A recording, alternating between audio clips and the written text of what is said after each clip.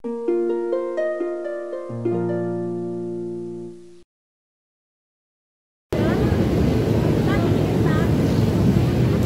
sikap.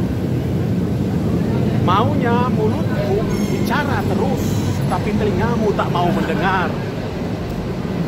Maumu aku jadi pendengar terus Bisu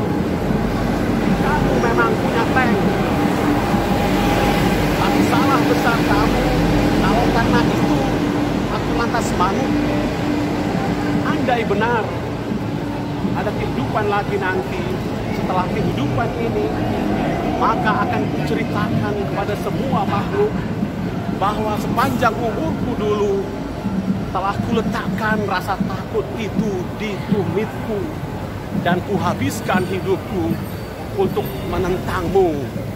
Hai penguasa zalim.